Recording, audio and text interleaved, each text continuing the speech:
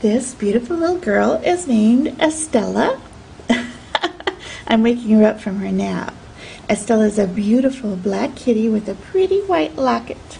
Oh my goodness, she is such a pretty girl. And she's a small girl, just the right size to cuddle up in your lap and take a nice long winter nap with you. And she would really love to do that. You see, Estella loves to be with people. Now, Estella was with us once before, and she was known as Bella back then. And um, Bella went home with a very nice lady who brought her back because she didn't have much time to spend with Bella. And Bella, she found out, was the kind of kitty who really does like to spend time with people. So she thought that Bella would do better in a home um, where someone could spend a little more time with her and not just see her every now and then. And Bella is the kind of kitty who really likes people, wants to be involved in what you're doing, and wants to be by your side. If you're on the computer, she's right there with you. If you're reading a book, she's snuggled on your lap. And if you're doing your chores, she'll probably be running around giving you instructions on how to do them better.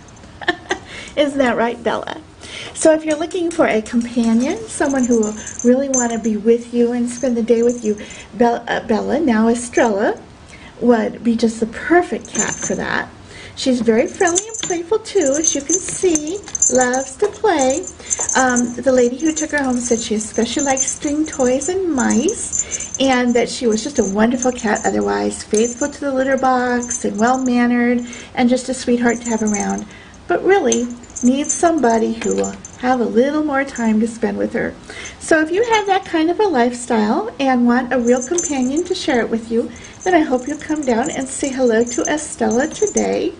She will just love it when she gets to go home and have her very own person to all to herself. This is Estella, and she is just waiting for someone like you here at Great Plains SPCA.